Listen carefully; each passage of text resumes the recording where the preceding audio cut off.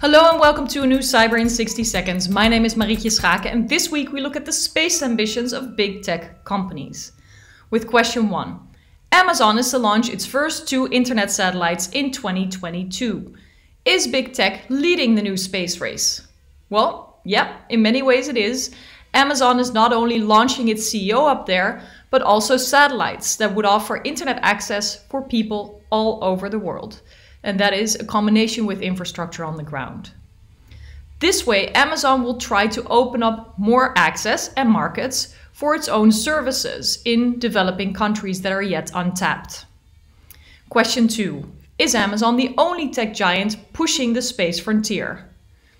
Well, not at all. Project Kuiper, which is named after the Dutch astronomer and planetary scientist Gerard Kuiper, is not the only corporate space adventure.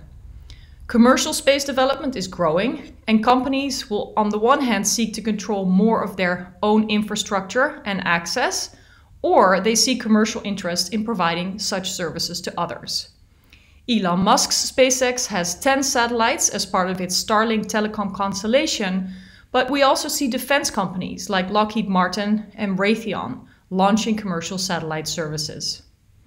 The question that does rise is what the consequences will be for the public interest and security considerations in this vast public sphere around the Earth.